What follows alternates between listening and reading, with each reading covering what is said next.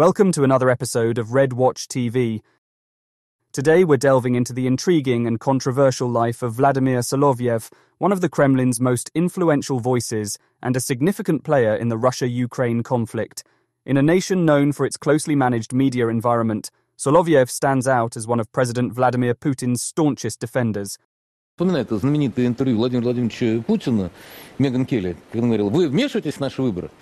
Он говорит, нет. Он говорит, так я же, говорит, вот, смотри, говорит, так вы, спрашивает Путин, отчеты видели?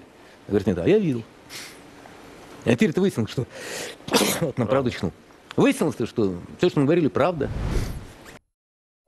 He has been instrumental in framing Russia's aggression against Ukraine, turning it into a narrative of holy war. Воюем против сатанистов. Это священная война. И мы должны победить. Русский рожден для выполнения своего долга. Сколько веков существует Россия, столько веков она борется со злом. Смерти нет. Есть дорога в бессмертие. From his prolific television broadcasts to his fiery rhetoric, Solovyev's role as a state propagandist is unparalleled, making him one of the key figures in the ongoing geopolitical drama. Stay tuned as we unravel the many facets of Solovyev's life, his rise as a propagandist, and his role in the Russia Ukraine conflict. Vladimir Solovyev was born into a Jewish family in Moscow on the 20th of October, 1963.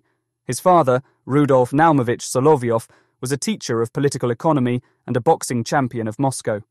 His mother, Inna Solomonovna Solovyova, worked as an art critic at the Battle of Borodino Museum. Solovyov's parents met when they were students of the Moscow Pedagogical Institute. They separated when Vladimir was four years old, but continued to maintain friendly relations. His initial entrance into the world of journalism was on the airwaves of Russian radio. His early career saw him honing his skills as a presenter and reporter, showcasing an uncanny knack for spinning narratives that would later serve him well in his eventual role as one of Russia's leading propagandists. Solovyev's rise within the Russian media was both rapid and deliberate. His talent for captivating audiences with his eloquence and charismatic presence did not go unnoticed by those in power. Yet, it was not merely his natural charisma that caught the attention of the higher ups. His dedication to conveying the narratives that the Kremlin wished to project onto the domestic and international stages proved instrumental in propelling his career forwards. In the tightly controlled media world of Russia, the government's influence is palpable, and diverging from the state narrative can have severe consequences. Yet Solovyev never strayed. His unwavering support of Kremlin policies, no matter how controversial or damaging, have consistently underscored his broadcasts. Moreover, his dogged defense and endorsement of President Putin have earned him an influential place within the corridors of Russian power. As the years have rolled on, Solovyev's voice has become one of the most recognized across the nation. His capacity to propagate narratives that align with Russia's interests, irrespective of the international repercussions, has made him a powerful tool in the Kremlin's arsenal. He has stood steadfast on the front lines of the information war, shaping public opinion according to the whims of the Kremlin. Vladimir Solovyev's status as a high profile figure in Russian society has not only seen him rubbing shoulders with powerful political figures, but also sharing stages with individuals who would later become significant opponents. A prime example of this is the remarkable, yet perhaps somewhat bizarre event that unfolded at a New Year's Eve party back in 2013.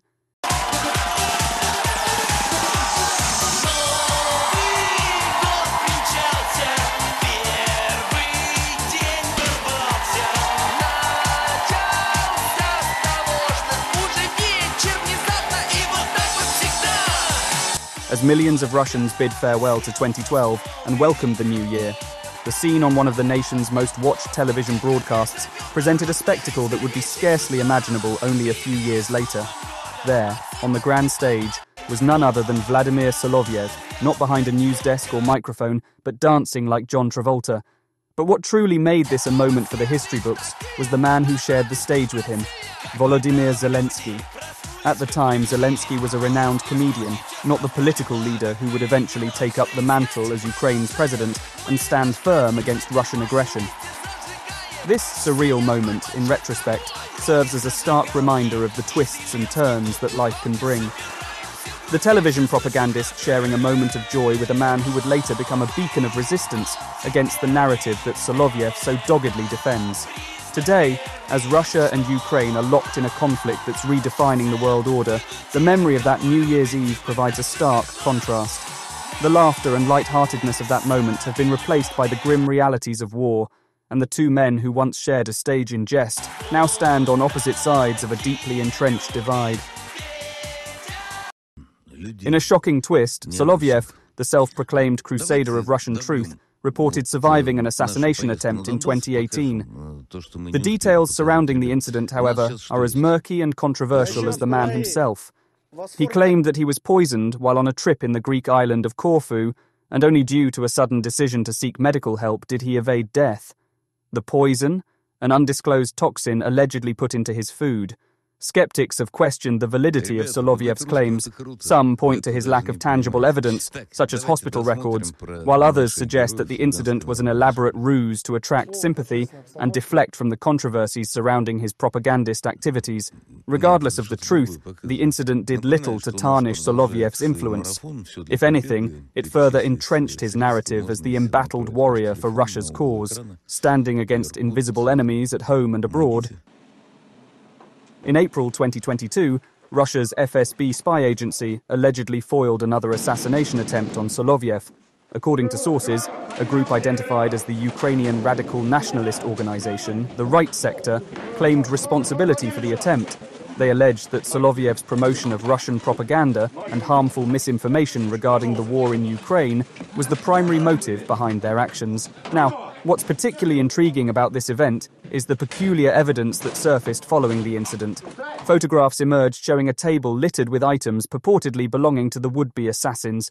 Among these objects were a swastika t shirt, a gun, a map with Solovyev's route outlined, and, of all things, several copies of the video game, The Sims. The presence of this game in such a grim scenario sparked an array of conjecture and analysis. Many speculated that the games had been acquired in error by the FSB agents in charge of orchestrating the fake scene. Many journalists and observers suggested that the original intention had been to display several SIM cards from mobile phones belonging to the would be assassins. Others deemed it as a bizarre coincidence, suggesting it was a personal indulgence of the attackers that had no direct link to their planned act. The failed assassination attempt and its strange circumstances added another layer to the enigma of Vladimir Solovyev, fueling even more controversy around his life and the importance of his roles as a mouthpiece for the Russian state. Europe wasn't indifferent to Solovyov's activities. His Italian retreats became a battleground for those opposing his inflammatory rhetoric. Nestled on the idyllic banks of Lake Como, two of Solovyov's villas, worth an estimated 8 million euros, bore the brunt of the outrage against him. In a brazen dawn arson attack, Unidentified assailants set one of the villas ablaze. Firefighters were quick to respond, and the damage was not significant. Still, the message was clear. The villa, confiscated by Italian officials due to sanctions, still belonged to Solovyov and was undergoing renovations funded by COVID 19 bonus payouts for construction projects when the fire was set. The arsonists, according to firefighters, likely tossed burning tyres over the villa wall transforming Solovyov's sanctuary into a flaming symbol of defiance. But the night of retribution was not over. Police discovered that another villa owned by Solovyov had been vandalized. The word war and killer were daubed in red paint, a glaring indictment of Solovyov's role in the war. The swimming pool, once a symbol of luxury, was dyed red, a grim reminder of the blood spilled in the conflict that Solovyov championed. As CCTV footage is scrutinized to identify the perpetrators, one thing remains clear. The backlash against Solovyov is not limited to verbal or written denunciations. Those opposing his stance have taken the fight to his doorstep, literally. As the war waged on, Solovyov took to the airwaves to amplify the Kremlin's narrative, continually escalating the rhetoric and making a name for himself as a prominent anti Western figure. One country in particular drew his ire the United Kingdom. Адмирал Тони Радакин. Кого ты адмирал? Где ты что добился? Еще они нам будут что-то рассказывать. Тоже мне страна одного сармата. Цитирую Дмитрия Олеговича Рогозина. Ну, не одного все-таки. Одного. Побольше потребуется. Ну, за... Нет, Шотландию мы трогать не будем. Шотландия будет А свободной. Уэльс, да? А Уэльс пока молчит. Ну и Уэльс будет свободный. И по требованию Байдена Северная Ирландия объединится с Ирландией. Solovyov's threats against the UK have escalated in severity since the onset of the Russian invasion of Ukraine in February 2022. His broadcasts, characterized by impassioned monologues and heated panel discussions, have become ever more hawkish. The host has even threatened Ukraine's Western allies with nuclear warfare, making a notorious declaration that London will turn to dust and burn in hell. В прах обратится Лондон. То есть, или, или им по-английски сказать. Да ничего Burning hell! Вот так лучше, Они да? переводят. Flames! He has also called on Putin to plunge Ukraine into the Dark Ages. These comments and threats have intensified following Moscow's recent harsh missile and drone attack on Kiev, which was in response to a meeting between Ukrainian President Volodymyr Zelensky and British Prime Minister Rishi Sunak to procure more weaponry for Ukraine. Solovyov has gone so far as to call for the destruction of British military structures outside the UK and to arm Russian partisans with advanced weapons that could potentially inflict significant damage on these facilities. A fellow pundit, Vladimir Rogov, who supports pro Russians living in invaded Ukraine, even suggested that the remaining combat wing of the Irish Republican Army could be armed to attack prominent UK locations, such as Buckingham Palace and 10 Downing Street. Solovyov supported this notion, implying that it would serve to grant the Irish self determination and damage British institutions. Solovyov also made suggestions that these actions would lead to Scotland gaining independence. These extreme views and hostile statements, especially the call for a missile strike against British Prime Minister Rishi Sunak, have caused international consternation. Solovyov's influence as one of Putin's most recognizable and vocal supporters in mainstream media cannot be underestimated. However, his unabashed calls for violence and warfare against the UK underscore the escalating tensions and dire situation resulting from the ongoing conflict in Ukraine.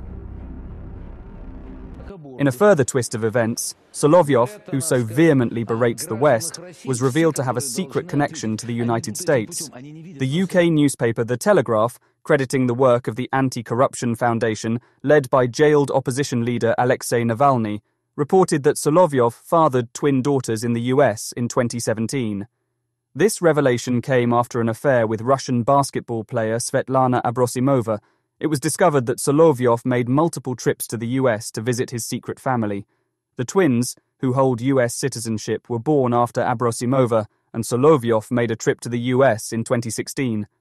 The girls, who have the middle names Vladimirovna, translating as daughter of Vladimir, have since moved back to Russia to live in a $6.2 million home in Sochi. Their existence became public knowledge when Abrosimova and Solovyov put down matching addresses on a COVID 19 test in 2021. This startling revelation, given Solovyov's vehemently anti Western stance, paints a picture of a man living a contradictory life, defending a regime and ideology on one hand, and benefiting from the very system he vilifies on the other. It raises important questions about the propagandist's authenticity and the real motivations behind his aggressive rhetoric. As we conclude our examination of Vladimir Solovyov, we see a man who has wielded significant influence over the Russian media. His close alignment with the Kremlin's policies has proven to be lucrative for him, allowing him a lavish lifestyle that includes multiple villas in Italy and a multi million dollar home in Sochi. Simultaneously, his role as Putin's dependable mouthpiece has driven him to make threats against the West and endorse Russia's conflict with Ukraine as a holy war. His virulent anti Western rhetoric starkly contrasts with the revelations of his secret American family and his luxury Italian properties. This question, along with the attempted assassination against him and the vandalism of his properties, reflect the high stakes and the dangers that come with being a prominent voice within the Kremlin's machinery of propaganda. Solovyov's story, while unique, is ultimately a tale about the dangerous dance between power, influence, ideology, and personal ambition. We thank you for joining us on this exploration of the life and influence of Vladimir Solovyov. If you found this video informative, please give it a thumbs up and don't forget to subscribe for more content. And as we sign off, we leave you with a question for the comments section. Given all that we've discussed, what are your thoughts on the role of individuals like Solovyov in shaping public perception during times of conflict? We look forward to reading your thoughts and insights. Thanks for joining us for this episode of Red Watch TV. Don't forget to hit the like and subscribe buttons below, and we look forward to seeing you next time.